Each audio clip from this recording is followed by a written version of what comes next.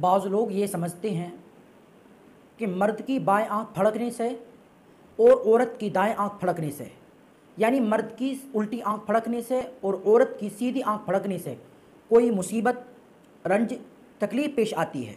या इसके उल्टा होने से यानी मर्द की सीधी आँख फड़कने से और औरत की उल्टी आँख फड़कने से कोई दीन का ये मरकज मुफ्ती निशात आलम, ये दी का तर्जमा है।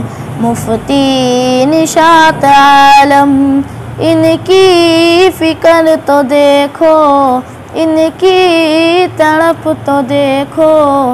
तबलीग दी का ये चैनल, मुफ्ती निशात आलम। बाज़ लोग ये समझते हैं कि मर्द की बाएँ आँख फड़कने से और औरत की दाएँ आँख फड़कने से, यानी मर्द की उल्टी आँख फड़कने से और औरत की सीधी आँख फड़कने से कोई मुसीबत, रंज, तकलीफ़ पेश आती है।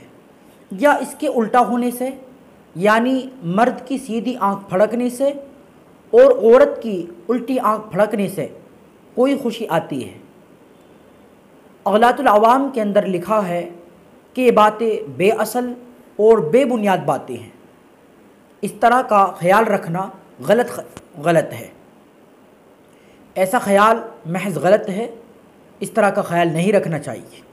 शरीयत के अंदर इन बातों की कोई असल नहीं है, ये बेबुनियाद और बेअसल बातें हैं। वीडियो को लाइक, शेयर और हमारे चैनल को सब्सक्राइब ज़रूर करें।